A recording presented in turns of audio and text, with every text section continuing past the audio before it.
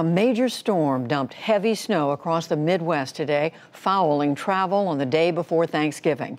As much as a foot fell in some places, delaying flights at Chicago's O'Hare Airport, one of the nation's busiest. A separate system slammed Oregon and California with rain, snow, and high wind, and transportation officials scrambled to keep the roads clear. We ran into some fog a little earlier. We're uh, reduced the visibility substantially. Snow's coming down and it's sticking. Uh, Caltrans is out in full force. They're sanding, they're plowing. They laid a brine solution down last night. We are going to try to keep it open. We are. That's our goal is to keep it open and keep it safe.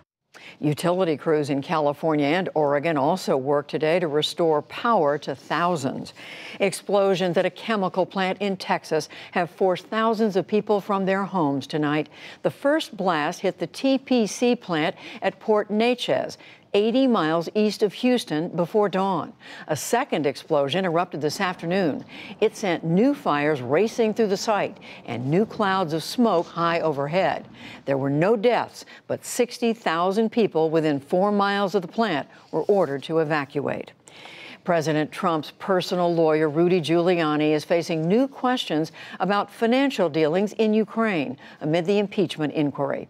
The New York Times and the Washington Post report that Giuliani pursued contracts with Ukrainian officials as he was pushing them to investigate Mr. Trump's political rivals.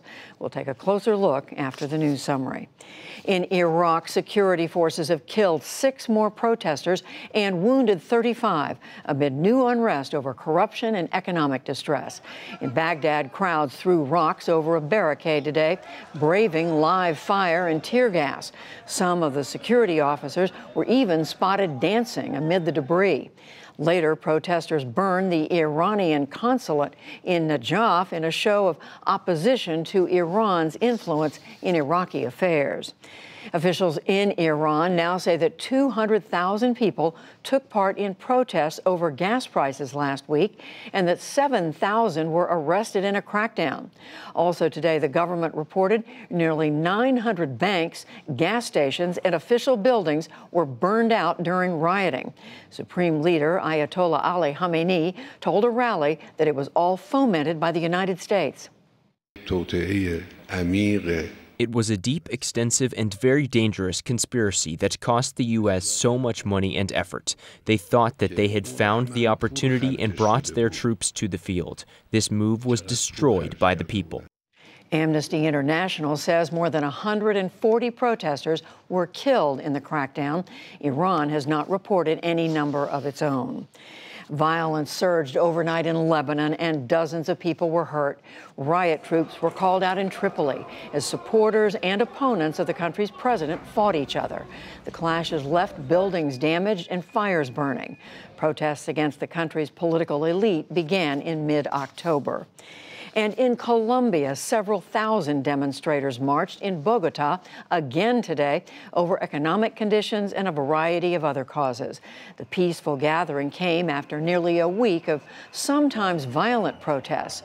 Four people have been killed and millions of dollars in business have been lost. Back in this country, the White House says that it will defend making immigrant visas contingent on proof of health insurance. A federal judge temporarily blocked the policy on Tuesday. Opponents argued that it would bar nearly two thirds of all prospective legal immigrants. Meanwhile, immigration agents have arrested some 250 foreign students who enrolled in a fake university outside Detroit so that they could stay in the U.S. It was part of a sting operation. Massachusetts today became the first state to ban flavored tobacco and e cigarette products. Most of its provisions take effect immediately. Republican Governor Charlie Baker signed the bill at a ceremony in Boston, and he urged more action from the federal government a national policy with respect to this stuff um, obviously can be far more effective than doing this one state at a time. But I cannot understand why anybody would think, given all the data and all the evidence, all the information that's out there at this point in time, that the right thing for us to do would be nothing. President Trump has proposed banning most flavors of e cigarettes nationwide, but has not yet taken any concrete action. At least six companies that make or distribute prescription opioid painkillers are facing a federal criminal investigation. The Wall Street Journal and others report that the focus is their role in the epidemic of opioid addiction and overdoses. The drug makers include Amneal, Johnson & Johnson, Mallinckrodt, and Teva, along with distributors AmerisourceBergen and McKesson. On Wall Street today, major indexes finished at record highs for a third straight day. The Dow Jones Industrial Average gained 42 points to close at 28,164. The Nasdaq rose 57 points and the S&P 500 added 13. Former President Jimmy Carter was released from a hospital in Atlanta today to head home for Thanksgiving. He had surgery two weeks ago to relieve pressure on his brain caused by bleeding from a recent fall. Mr. Carter is 95 years old. And former Deputy Attorney General William Ruckelshaus has died.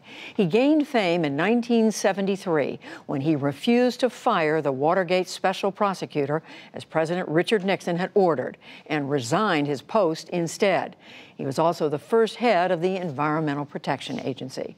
William Ruckelshaus was 87 years old. Still to come on the NewsHour, the White House's pressure on Ukraine grows clearer. And we check in to see how impeachment is resonating around the country. Hidden costs of two day shipping, the dangerous conditions faced by Amazon's warehouse workers, reversing mammoth amounts of food waste in Southern California, and much more.